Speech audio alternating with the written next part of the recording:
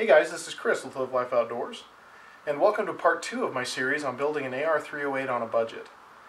And uh, on this video we're going to be going through the installation of the lower parts kit, as well as a receiver extension buffer tube.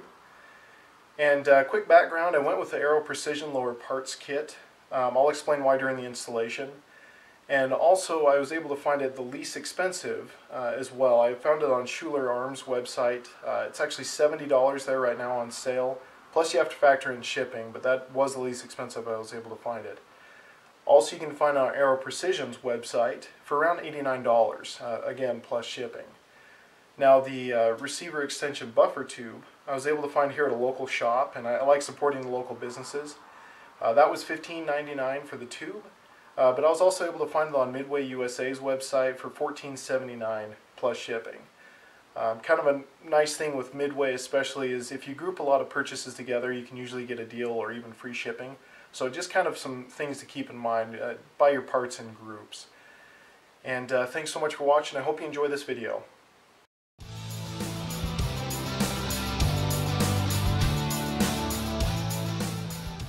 Now I went with the Aero Precision lower parts kit and laid it all out in no particular order. Um, that way you can get a feel for what's included. Uh, obviously with the Aero Precision lower receiver that I have, it has an integrated trigger guard and it does not have any roll pins. So these two roll pins and the trigger guard I'm going to go ahead and take out of the frame. I just wanted to show you what was in there. Uh, but these are actually going to be the parts that I will be installing.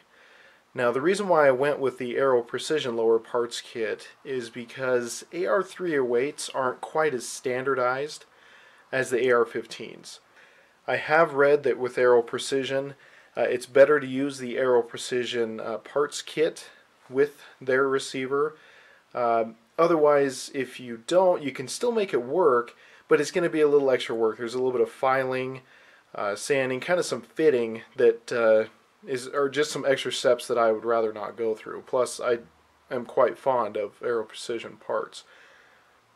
So with that said, let's go ahead and start the install. To install the magazine catch, uh, you're going to need the magazine catch, magazine catch button, and of course the spring.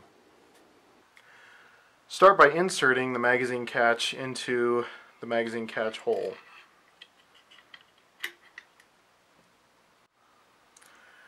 and then insert while holding onto the magazine catch your spring.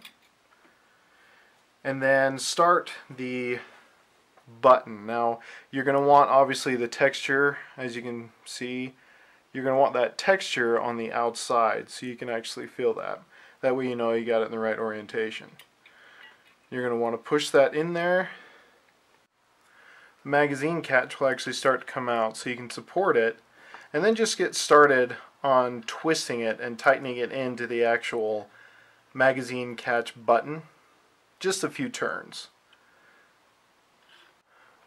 Once you've got that started, what I like to do is to take a pencil because of the rubber eraser, so that way I know it's not going to scratch this at all. And then I actually take it and push it in. And once you've got that uh, pushed in, as far as it'll go with your pencil on the other side, you can continue to screw that magazine catch release on.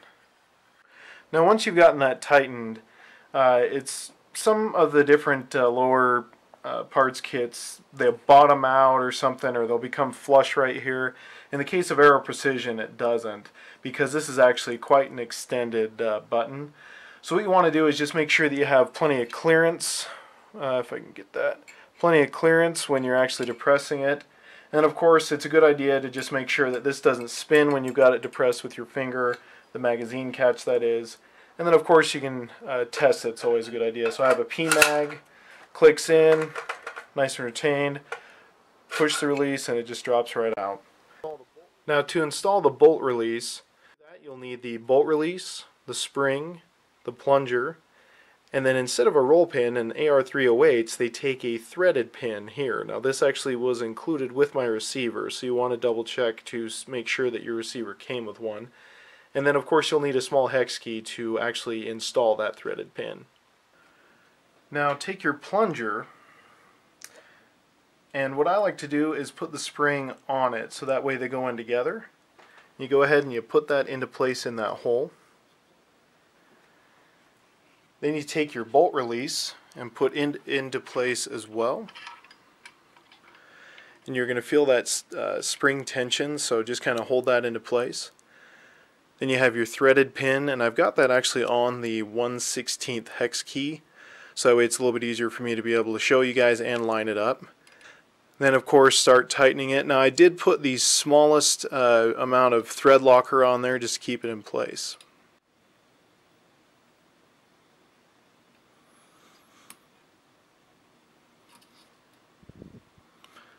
Now you'll feel that when it's fully tightened and of course just kind of test the function and the smoothness and then that's in place. To install the fire control group you'll need these parts.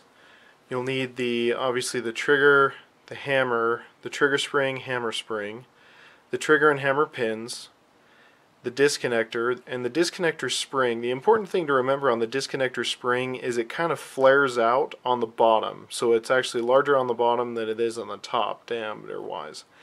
And then to actually install these, you'll need to, uh, it's actually easier to put in the safety selector uh, while you're install installing the uh, fire control group. Now we're going to start with the trigger assembly comprising of these parts. So first, start with your trigger and your trigger spring. And you're essentially going to want it looking like this. So go ahead and just put that on. Just like that. Next, you're going to take the spring. Now, this is the spring, obviously, with the larger diameter on the bottom, and that goes into right here. Let's go ahead and put that into place. So take your uh, trigger with the spring on there and then take your disconnector and then just put it right into place like that. Now some people like to install these separately. You can do whatever uh, you'd like. I just like to do them at the same time. So go ahead and put that into position in the receiver. Then line it up with this hole here. And to help it kind of keep into place, just put a punch in there just to kind of line everything up, keep it into place. And then you can take your uh, trigger pin and put that on in. Then take your hammer and the hammer spring and essentially you're going to want it uh, looking about in this orientation there. So go ahead and put that on.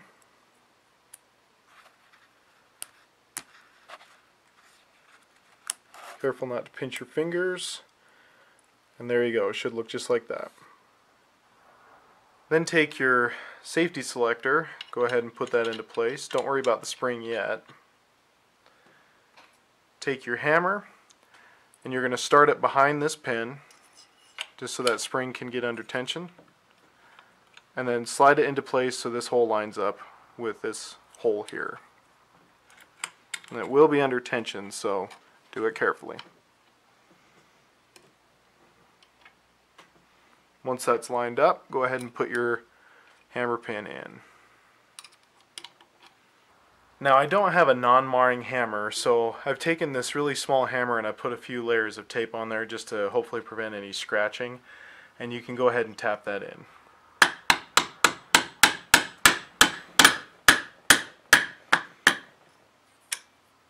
Perfect, no scratches. So once that's in place, you can go ahead and test it.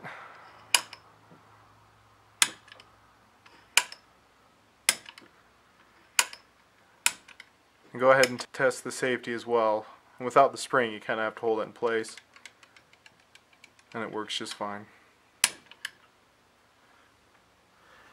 Now we're going to install the pivot pin. So you'll have the pivot pin the spring and then the detent and it's a good idea to have some tweezers or pliers or something like that to hold the uh, detent in place. Okay now as you can see this does vary from the AR-15. The AR-15 obviously has that little side pocket where it goes. The AR-308 goes in the front and that does kind of make things a little bit more difficult so you want to be careful because you definitely don't want to lose the spring or especially the detent because those can possibly fly out. So take your spring, Go ahead and put that into place. And take your detent, start that through as well. And this is where the punch and tweezers come in handy so you don't uh, lose those. Let's go ahead and start that on through. Okay, now this is where that's going to be under tension so you're going to want to be careful. Now I've got a uh, drill bit here that's the smooth part of the shank obviously but it does have some flat edges. I find that's really really useful. It just happens to be the right size. Let's go ahead and push that through. So while you've got that uh, pushed in, these tweezers are actually small enough that I can get in there and stop the detent from moving forward when I remove the punch. This is where things get a little bit tricky. Then I just push that drill bit on forward and it stops the detent from moving forward. Then take your pivot pin, make sure that the groove is facing backwards towards where the detent is, and then just kind of push that on in like so and it locks into place and you can go ahead and double check that it works. It's being retained. To install the grip, you'll need these parts. You're actually going to install the takedown pin, which has, of course, the spring and detent. The safety selector spring, that's the thicker one with the larger detent. And then, of course, your grip with the screw and washer that go with that. Now the first thing you're going to want to do is ensure that the safety is in the fire position, not the safe position. And even though I've got it flipped around, you can see with this indicator that is in the fire position. Then you're going to want to take your takedown pin and actually insert it partially into the hole there. And you're going to want to actually have the groove up towards the handle. That is another difference between an AR-308 and an AR-15. So go ahead and insert that partially facing upward. Then take your detent for that and put it in the rear hole. And then you can take the detent for your safety selector, which again is the larger one. You're going to want to put that in the hole above the safety selector. Take your spring for your takedown pin. Go ahead and position that into the hole as well. And that's going to only stick partially up, as you can see. And then the spring for your safety selector is actually going to go in the only hole in the grip. And you can see that there. Now when you put the grip on and keep that facing down, you're going to want to hold that spring as you can see it comes out. But also as you can see, that'll be going in the safety and there is no hole for the takedown pin spring. So you're going to actually have to push it and hold it down maintaining pressure while being careful not to uh, bend that spring because it obviously is uh, quite delicate and there is no hole or pocket for it to go into. Let's go ahead and put that into place.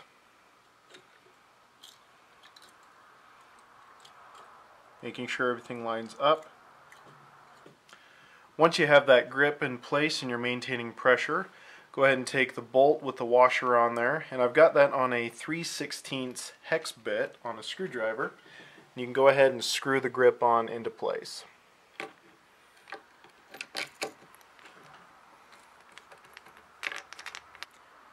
Once you have the grip installed, you can go ahead and ensure that the takedown pin is being retained, and it is.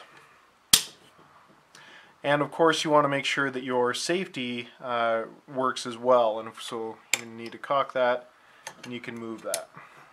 In the safe, that still works. Fire. And you can hear the audible click as I'm switching that. And then of course the safety works.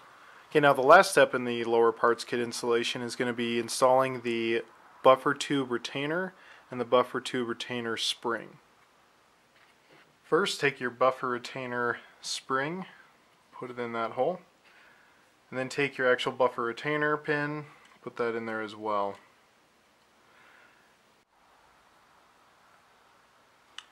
Now one thing that is not included in your lower parts kit that you will actually need, uh, obviously eventually, but in order to actually retain the buffer retaining pin is of course uh, an actual buffer tube or extension receiver tube. Uh, this particular one is not a carbine as you can see, it's actually a DPMS fixed length uh, rifle tube. And uh, because of the stock that I'm choosing to put on there, I don't want a carbine stock. So uh, this is a little bit more simple to install than the uh, carbine buffer tubes. Um, this is mil spec. And uh, the good thing to put on there as well before you install is Aeroshell uh, 33 lithium moly grease. I like to put it on there because it prevents it from seizing or anything like that. This can also be used on uh, barrel nuts and so forth, and you don't need a whole lot. Now the nice thing is you don't have to worry about this extension tube is you don't have to worry about a castle nut or, or anything like that. So go ahead and just put that in there and start screwing it in. Until you go up and are just touching that retention pin, then you go ahead and push that down and finish screwing it in. And what that'll do is it'll hold the pin down obviously so it retains it so it doesn't fly out. But then of course uh, when you're ready to install your buffer and spring you can go ahead and push that down further so it will actually hold it in. That's why it's a good idea to put that in uh, the same time as your lower parts kit so you don't risk losing that um, retainer or its spring. Now as I mentioned before it doesn't have a castle nut you need to worry about but it does have a a nut here on the end that you can actually get a hold of to tighten it the rest of the way. So you'll still need your armor's wrench, but instead you'll be using uh, this part of the wrench right here to actually tighten the tube. So just put that on there, tighten it up, and you're all set. Thanks so much for watching, and be sure to like and subscribe so you don't miss the rest of this great series.